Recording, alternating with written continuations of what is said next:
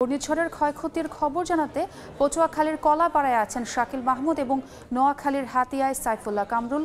শুরুতেই যাচ্ছি শাকিলের কাছে।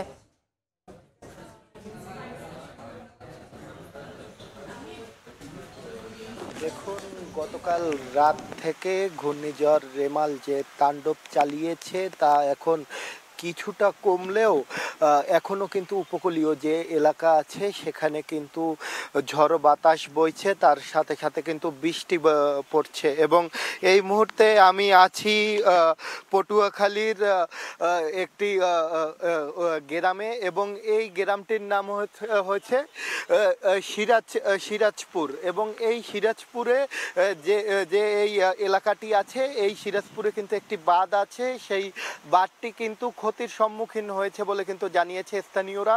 তারা বলছে যে দীর্ঘ দিন পর্যন্ত আসলে এই বাঁধে যখন ফাটল ধরে, সেই ফাটলের পরে এই বাঁধে কোনো যেহেতু মেরামত করা হয়নি, সেই কারণেই এই ঘূর্ণিঝড়ের তাণ্ডবে এই বাঁধটি কিন্তু ক্ষতিগ্রস্ত হয়েছে এবং এই বাঁধ ভেঙে কিন্তু উপকূলীয় এলাকাগুলোতে কিন্তু পানি জোয়ারের যে পানি, সেটি ছড়িয়ে পড়েছে এবং এর ফলে কিন্তু ব্যাপক ঘর বাড়ি কিন্তু পানির নিচে চলে গেছে এবং বেশ কিছু আসলে যেহেতু ঝড় বাতাস বইছে, তাই অনেক গাছপালা ভেঙে কিন্তু ক্ষয়ক্ষতি হয়েছে। যদিও যদিও যদিও আমরা আমাদের সাথে কথা হয়েছে বিভাগীয় কমিশনারের সাথে। বিভাগীয় কমিশনার যেটি আমাদেরকে জানিয়েছে যে, এখন পর্যন্ত মোট এই ঘূর্ণিঝড়ের কারণে বরিশাল বিভাগে সাতজনের মৃত্যু হয়েছে। এর পাশাপাশি আমরা কথা বলছিলাম পানি উন্নয়ন বোর্ডে। পানি উন্নয়ন বোর্ড যেটা জানিয়েছে যে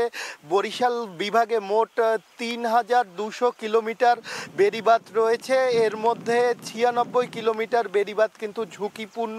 তার ভিতরে এরই মধ্যে কিন্তু পানি উন্নয়ন বোর্ড ষাটটি পয়েন্টকে চিহ্নিত করেছে। এই সাত পয়েন্টে কিন্তু বিভিন্ন ধরনের বেড়িবাঁধে কিন্তু ক্ষয়ক্ষতি হয়েছে বলে জানিয়েছে পানি উন্নয়ন বোর্ড। তবে এখন পর্যন্ত যে ক্ষয়ক্ষতির পরিমাণ সেটি কিন্তু এখনও নিশ্চিতভাবে জানা যায়নি। তবে দ্রুতই তা জানানো হবে বলে জানিয়েছে বিভাগীয় কমিশনার। এই ছিল পটুয়াখালী থেকে আমার কাছে থাকায় সব শেষ আমরা যাব নোয়াখালীতে। নোয়াখালীতে আছে সহকর্মী সাইফুল্লাহ কামরুল। জানব সেখানকার খবর। ভাবে গতকাল থেকে নোয়াখালীর হাতিয়া সহ পাঁচটি উপকূলীয় উপজেলাতে ভরি আবহাওয়া চলছে।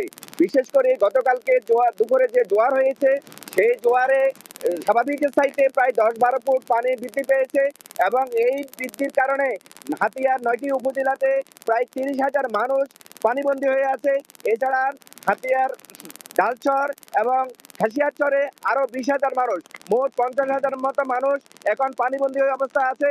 এছাড়া জলের কারণে এবং জড়ো হওয়ার কারণে অনেকগুলো গাছ ভেঙে পড়েছে এবং নোয়াখালীর হাতিয়ার বিভিন্ন ছোট ছোট ঘর খুবলি ঘরগুলো ভেঙে পড়েছে।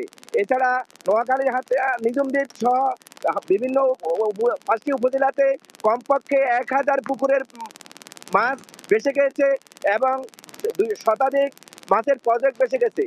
নোয়াখালীর যিনি হাতিয়া অংশ অঞ্চলের সংসদ সদস্য আছেন মোহাম্মদ আলী, তিনি কিছুক্ষণ আগে আমাদেরকে নিশ্চিত করেছেন, তিনি এই হাতিয়ার ভয়াবহ ক্ষতিগ্রস্ত, যে ক্ষতিগ্রস্ত হয়েছে, সেই ক্ষতিগ্রস্তের বিবরণ দিয়ে প্রধানমন্ত্রীর দপ্তরে একটি ডিউ লেটার দিয়েছেন। তাছাড়া তিনি এই ইতিমধ্যে নোয়াখালী জেলা প্রশাসক আমাদেরকে জানিয়েছেন, ক্ষয়ক্ষতি নির্মাণের জন্য, নির্ণয়ের জন্য মাঠ পর্যায়ে কর্মকর্তাদেরকে নিতে দেওয়া হয়েছে।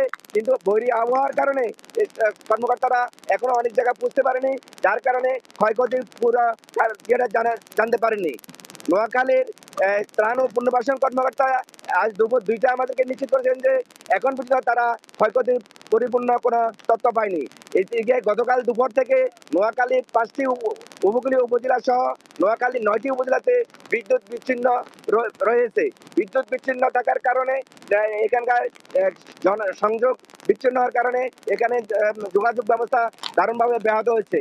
এই সব মিলে এই ছিল নোয়াখালীর হাতিয়া থেকে আমার কাছে সর্বশেষ।